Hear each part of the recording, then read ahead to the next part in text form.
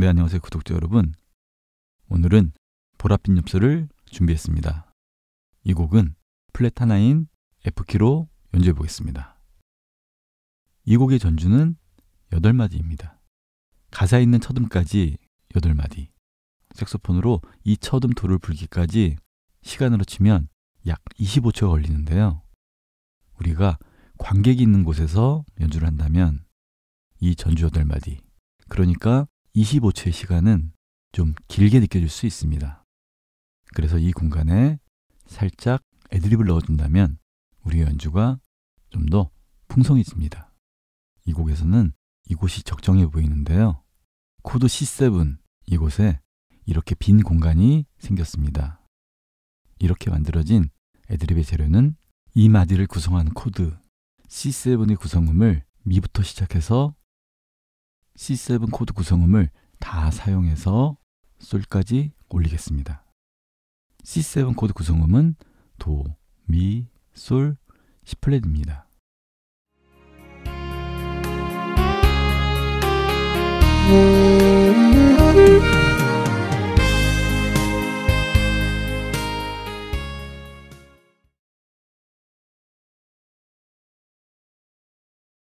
전주 멜로디에 짧은 애드립을 적용하고 가사 있는 첫 패턴을 연주해 보겠습니다. 세 번 나오는 도음 중에 마지막 도에 비브라토를 사용하겠습니다. 그리고 원래의 노래의 멜로디는 라, 파, 미. 여기 첫음 라에 솔샵 음을 짧은 박자에 넣겠습니다. 플랫 하나인 F키에서 라음을 연주할 때 솔샵 음을 거쳐 이동하면 보다 듣기가 좋겠습니다. 그 이유는 이 솔샵음이 조성 F키에서 사용할 수 있는 블루스 스케일, 그 블루스 스케일 중에서 블루스 그 특성을 뚜렷하게 내줄 수 있는 음입니다. 조성 F키에서 사용할 수 있는 블루스 스케일은 파, 솔, 솔샵, 라, 도, 레입니다. 그 다음 마디 역시 세 개의 레음 중 마지막 음 레음에 비브라토를 사용하고 레, 미, 파 이렇게 원래의 박제대로 올라와서 마지막 이 파음을 통ing 없는 밴딩으로 한번 출렁이겠습니다.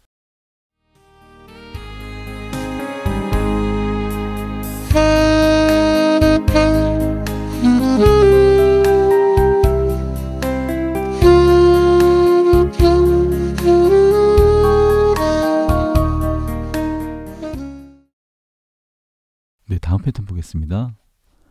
첫 음 C 플랫에 음을 두 개 더 쌓아서 이른바 픽업 노트로 도샵, 도, C 플랫 이렇게 내려오겠습니다. 픽업 노트로 솔, 라, C 플랫 이렇게 사용할 수도 있는데요.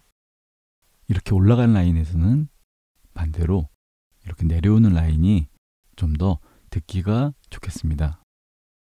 다음 도, 도, 파, 파. 이 연주는 이렇게 해보겠습니다. 첫 음도에 비브라토를 사용하고 두 번째 박자 정박자에 텅꾸밈으로 연결하고 세 번째 박자 정박자에 팔을 두 번 불고 바로 드랍으로 내리겠습니다.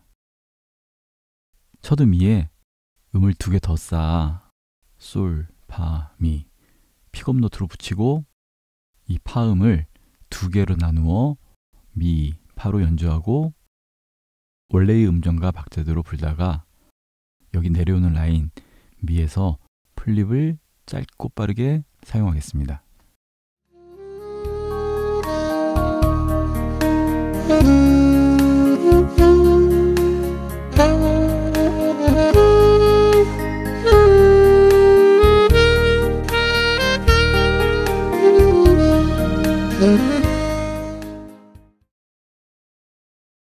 노래 형식, 즉 송폼 A에 해당하는 첫 8마디 연주가 끝나고 그 8마디와 거의 비슷한 송폼 A-에 해당하는 8마디가 나옵니다. 색스폰 연주는 같은 멜로디를 반복하는 것보다는 가사가 바뀌는 느낌만큼만 약간의 변화를 주는 연주가 좋겠습니다. 우리가 배워왔던 색스폰의 테크닉, 꾸밈음 또는 스케일 등을 적극적으로 활용하면 되겠습니다. 첫음 도음에 맞춘다는 느낌으로 이렇게 글리산도 형식으로 올라왔는데요. 첫음은 레부터 시작했습니다. 첫음을 레로 선택한 이유는 직전음, 마지막 음이 도여서 레음이 비교적 이질감이 들지 않고 운지도 편하겠습니다. 글리산도로 올라와서 많은 음을 소화했습니다. 그래서 밸런스를 맞추기 위해 마지막 도음들을 삭제하고 그 공간을 비브라토로 채우겠습니다. 여덟 마디 전에는 솔샵, 라, 파, 미 이렇게 연주했는데요. 이번에는 솔샵을 빼고 같은 박자에 라를 한 번 더 불어 라, 라, 파, 미로 연주하겠습니다. 이번에는 정박자에 들어가지 않고 이렇게 한 박자를 온전히 쉬고 두 번째 박자부터 들어가 보겠습니다. 그리고 여기 파는 통잉을 하지 않고 부드러운 밴딩으로 살짝 올리겠습니다.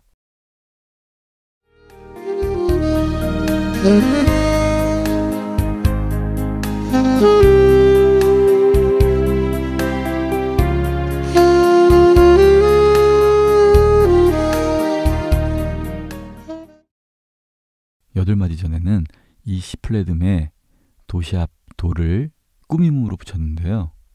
반복되는 두 번째 연주는 이 도시압 도음을 꾸밈음이 아닌 음정과 박자를 다 갖추어서 이곡부터 연주하겠습니다.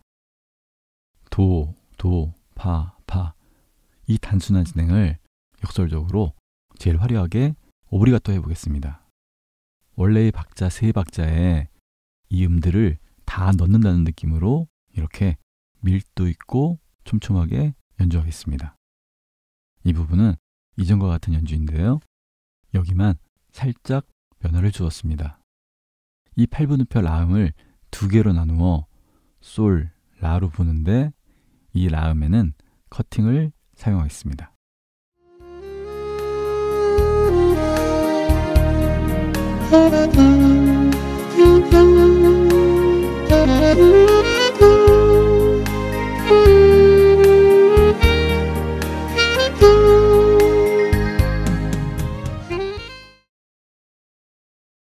네, 다음 패턴 보겠습니다. 첫 음 라 음정에 레부터 글리산도로 올라가겠습니다. 그리고 여기 라, 그리고 여기 솔에는 비오라토가 필요해 보입니다.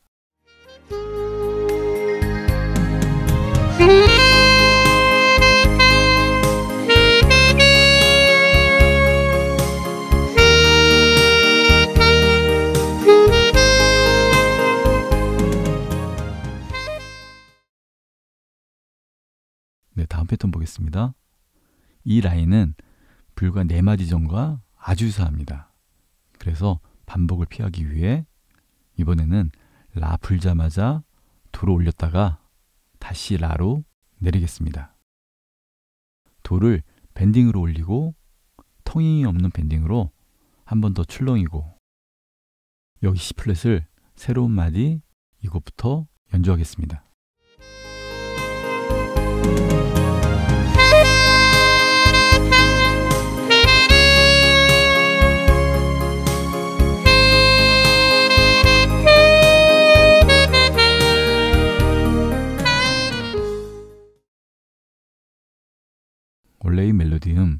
솔, 솔을 이렇게 연주했는데요. 정박자에 라를 bending으로 올리고 원래의 목적은 파에 라플랫, 솔을 붙여 연주하겠습니다. 솔, 솔 이렇게 단순한 진행을 조금 화려하게 진입해서 이곳은 이 패턴의 밸런스를 위해 파 하나로 처리하고 남는 공간은 비브라토로 채우겠습니다. 원래의 멜로디 라, 라, 도, 레 첫음 라음을 솔샵으로 바꿔 연주하겠습니다. 돌이켜보면 지금까지 1절에 원래의 멜로디 음정에는 없는 블루스 스케일의 캐릭터 음, 솔샵 음을 4번 정도 사용했습니다.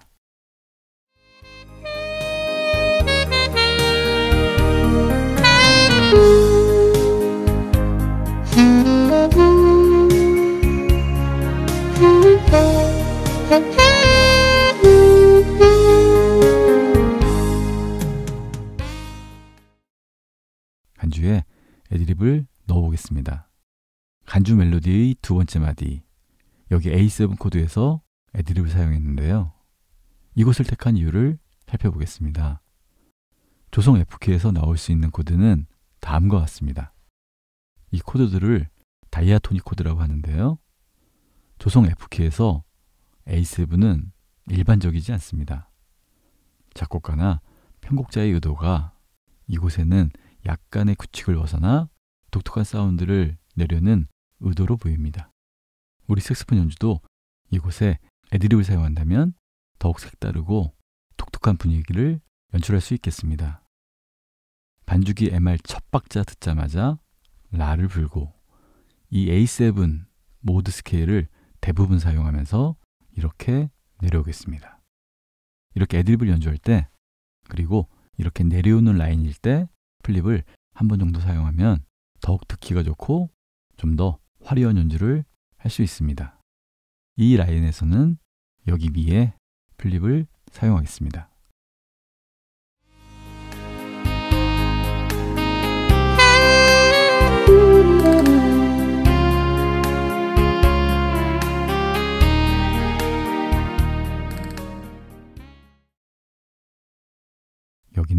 이렇게 채워보겠습니다.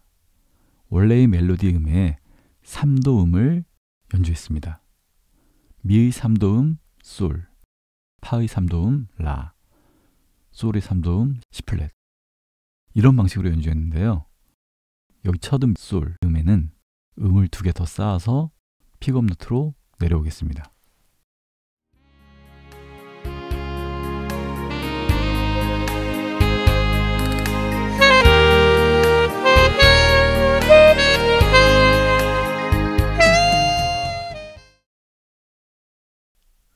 애드립 연주를 마치고 다시 돌아오는 두 번째 후렴구 연주를 해보겠습니다. 원래의 목적은 라음에 맞게 3옥타브 레, 도를 이어붙였습니다. 1절 연주와 다른 부분은 이곳입니다. 여기 솔음을 두 개로 나누어 솔, 라로 부는데 라음에 커팅을 사용하겠습니다.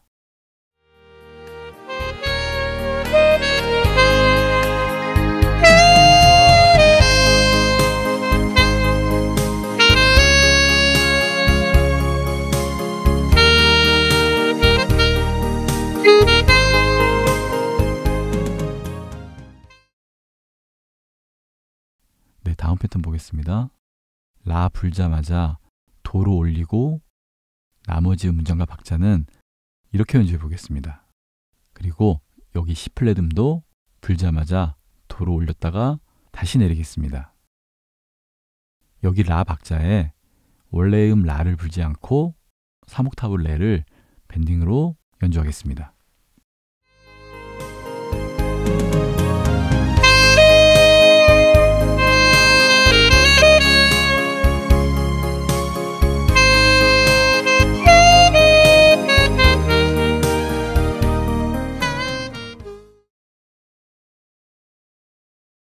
쉬고 솔, 솔의 음정과 박자를 강조하기 위해 정박자의 라를 밴딩으로 올려 연주하겠습니다. 라, 라, 도, 레. 이 패턴이 몇 번 나왔는데요. 이번에는 이렇게 연주해 보겠습니다. 원래의 목적음 레에 맞춘다는 느낌으로 솔 챕부터 시작해서 원래의 목적음 레에 맞추겠습니다. 빠르고 정확하게 연주해야겠습니다. 레에서 도로 갈 때 그 사이에 있는 반음 넣었고요. 갑자기 높아지는 C 플랫음의 밴딩, 라의 드랍을 사용했습니다.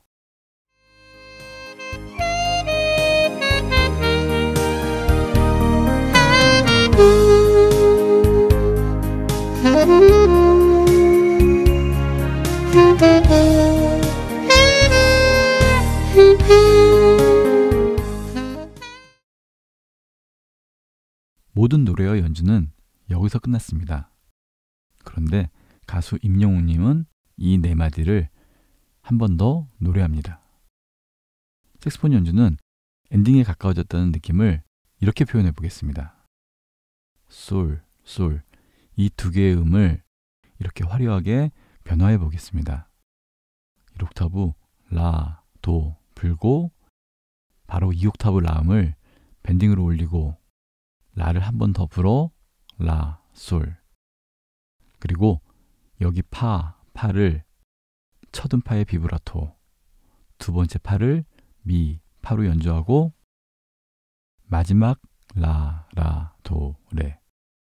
여기까지는 네 마디 전과 같은 연주고요. 다시 블루스 스케일을 사용해서 이전 연주와 차이를 두고자 했습니다. 네 마디 전에는 반음 진행, 이번에는 flip 진행으로 이어가겠습니다.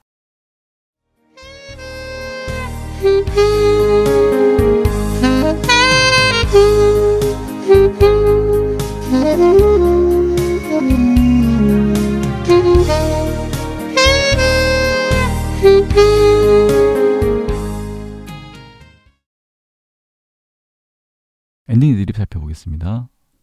반주기 MR이 마지막 마디를 찍을 때 내추럴 C, C 플랫 음을 쌓아서 라에 맞추고 여기 마지막 마디 코드 F에 맞는 chord tone을 사용해서 라까지 올리겠습니다.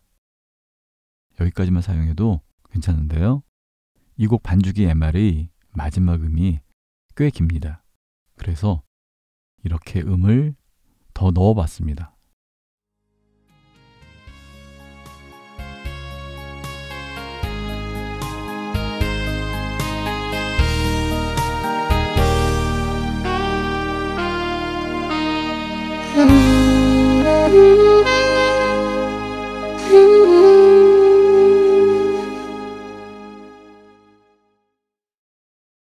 지금까지 임영웅님의 보랏빛 엽서 색스폰 애드립 연주를 마치겠습니다. 시청해주셔서 감사합니다.